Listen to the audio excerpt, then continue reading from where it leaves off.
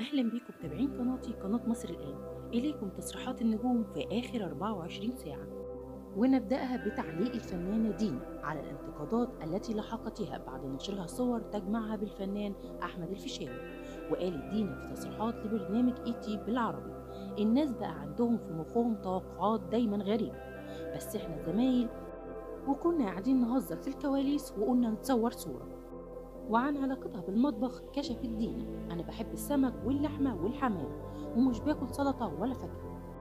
شرطة الموضة مي عمر ومي سليم بنفس الفستان وسعره في متناول الجميع والجمهور يتساءل مين أحلى.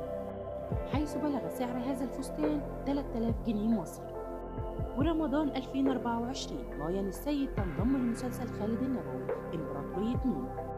وريهام عبد الغفور تحيي ذكرى الأربعين لوفاة والدها وبتعلق أنا في كابوس بس ما بيتصحيش منه. ووصل النجم محمد رمضان إلى كودوفور استعدادا لإحياء حفل افتتاح بطولة كأس الأمم الإفريقية 2024 وكان رمضان قال في تصريحات سابقة الحمد لله رب العالمين. أفتخر بأني العربي الوحيد في الأغنية الرسمية لكأس الأمم الأفريقية.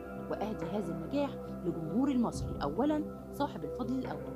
بعد ربنا ثم جمهور العربي الغالي. ثقة في الله نجاح مستمر. واحتفلت الفنانة المغربية سميرة سعيد بعيد ميلادها ال 66 على طريقة نشرها لفيديو استعرضت فيه لياقتها البدنية بينما ممارسة الرياضة. وإلهام شاهين تتعاقد على فيلم الحب كله مع المنتج شريف منظور. وقال باسم يوسف خلال تصريحاته إنه لم ينقذ حياة أحد.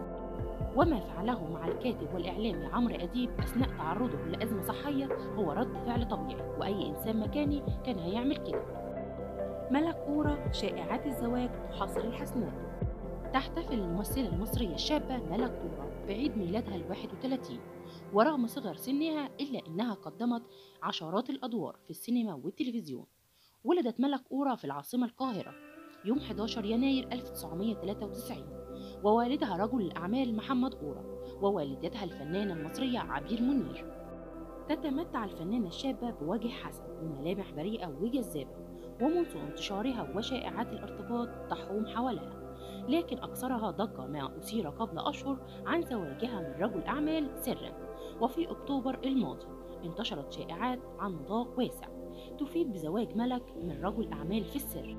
لكن والدتها خرجت ونفت الأمر وقالت الفنانة عبير منير إن ابنتها ملك لم تتزوج كما يشاع. معتبرة أن كل الناس تتعرض للشائعات مشاهير وغير مشاهير. وشقيقة شيرين عبد الوهاب جدل كبير أثير خلال الساعات الماضية. بعد خروج إحدى الفتيات على موقع تيك توك. في فيديو تتهم شيرين إنها أختها. من الأم. هي وأمها. مشيرة إلى أنها بعد تخليها عنها قررت العمل خادمة في بيوت من أجل أولادها.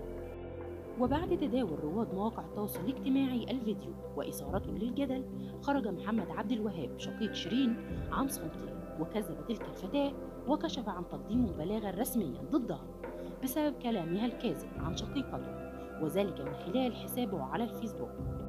وأول أعمال سراء جويل بعد زواجها تصدرت محركات البحث مع تامر حسني.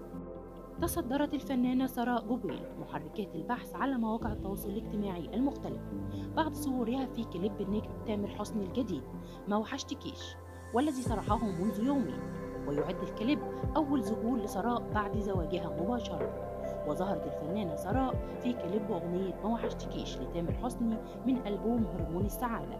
وكان ظهورها ملفتا حتى أن الأغنية تصدرت موقع اليوتيوب وأصبحت ترند رقم واحد بعد حصد أكثر من 2 مليون مشاهدة في 24 ساعة من طرحها. وأشاد الجمهور بشخصية وظهور الفنانة سراء جوبيل في كليب ما وحشتكيش لتامر حسني. والتي ظهرت كحبيبة للفنان تامر في الكليب.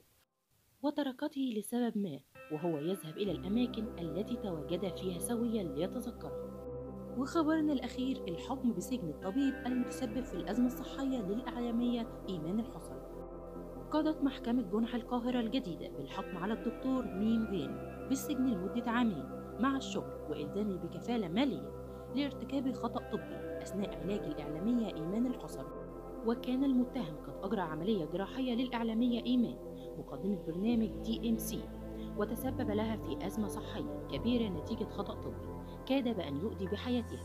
وفي نهاية الفيديو لو عجبتك أخبارنا ما تنساش تشترك في القناة وتفعل زر الجرس عشان يوصلك أهم وآخر الأخبار على مدار اليوم.